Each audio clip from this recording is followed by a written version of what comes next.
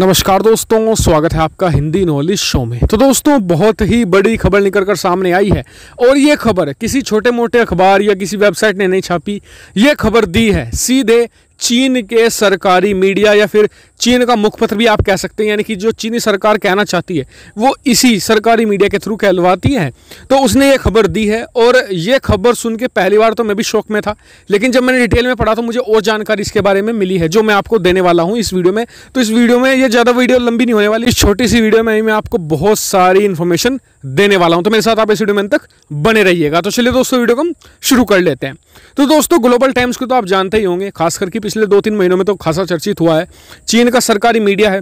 तो इसने एक ट्वीट किया है और ट्वीट में इसने क्या लिखा है? वेबसाइट पर भी छापा है इसने कि हमें खबर मिली है जो पीपल्स डेली है, यानी कि जो मतलब कि चीन की सेना है उसे पीपल लिबरेशन आर्मी कहा जाता है।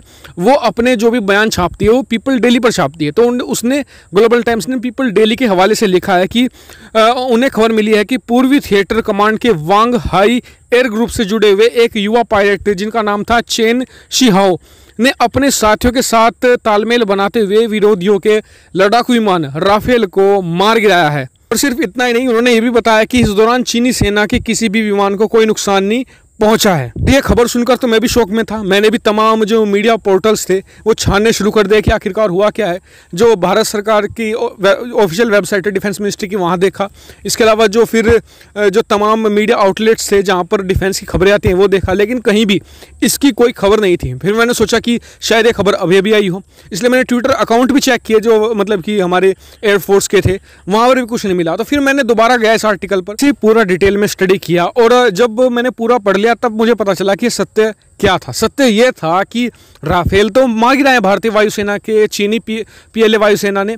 लेकिन वो एक मॉक ड्रिल थी। जी हाँ दरअसल ग्लोबल टाइम्स ने फिर इसके ऊपर एक और मतलब कि ट्वीट किया जिसमें बताया कि भारत ने, भारतीय राफेल सत्रह बार मार गिराए उनके एक पायलट ने एक मॉक ड्रिल में। मॉक ड्रिल क्या होता है? आप इसे युद्धाभ्यास कह सकते हैं। यानी कि एक चीन का शुद्ध प्रोपोगेंडा था। और जो लोग मुझे इंस्टाग्राम पर मैसेज कर रहे थे हज़ारों मैसेज मुझे भेज दिए इंस्टाग्राम पर। ट्विटर पर भी बहुत सारे डीएम थे तो आप सभी को मैं एक तरीके से स्पष्ट कहना चाहूँगा कि कोई भी भारतीय लड़ाकू विमान नहीं मार गिराया गया है। ये एक मॉक ड्रिल थी, एक युद्धाभ्यास था और चीन के जो ग्लोबल टाइम्स ने प्रोपागेंडा फैलाने के लिए, सनसनी फैलाने के लिए सब कुछ किया था। लेकिन इससे एक बात तो स्पष्ट हो गई कि चीन कितना डरता है भारतीय राफेल से, क्योंकि दुश्मन आपके उसी हथियार को ज़्यादा बदनाम करेगा जिससे वो सबसे ज़्यादा डरता हो। राफेल को बदनाम करने की कोशिश ग्लोबल टाइम्स और चीन के जितने भी सरकारी मीडिया है, पहले दिन से कर रहे हैं। राफेल इनका सबसे बड़ा इलाज और सबसे बड़ा खौफ भी है।